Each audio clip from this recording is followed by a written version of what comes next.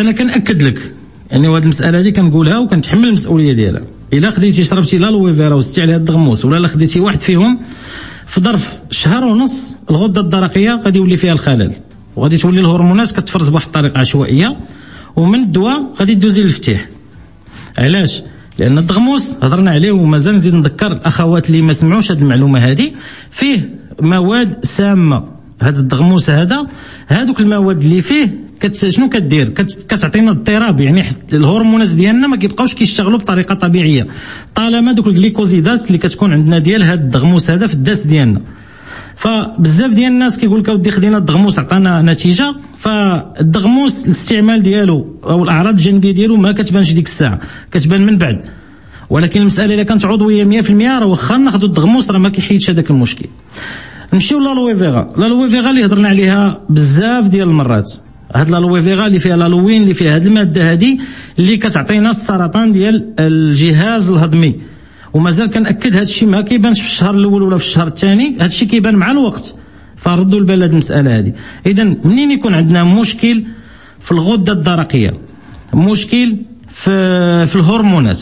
مشكل أن عندنا شي كره أو عندنا شي خلل في شي بلاصة في الداس ديالنا وخاصة النساء وكنزيد نأكد على النساء. لأن النساء آه واحد الباقة الهرمونات متوازنة.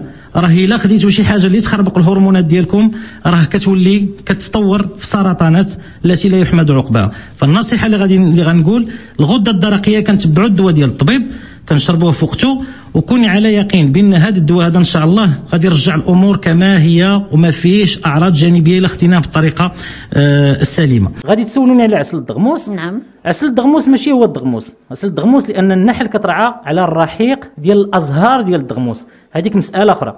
إذا ملي كتدخل البطن ديال ديال ديال ديال النحلة فهي كيتبطل هذا المفعول ديال هذا السام هذاك الشيء قدرة ربانية ومن بعد كيعطيونا العسل العسل اللي كيخرج اللي هو مزيان وما فيش ما فيش مضرات غير هو عسل الدغموس والناس دائما كنأكد اللي كيكون عندهم عسل الدغموس ولا اللي كيجنيو عسل الدغموس كيعرفوا أنه كيصلح للدواء. شنو نعم. هو كيصلح للدواء؟ كناخذوا معلقة صغيرة ديالو في اليوم وما كنفوتوش 10 أيام في الاستعمال ديالو باش كنستافدوا منه.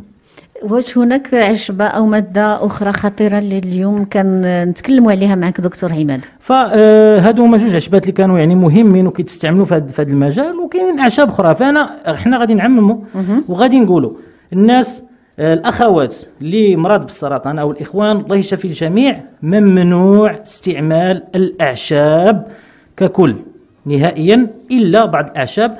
وغادي نهضروا على هذه الأعشاب هذه من بعد.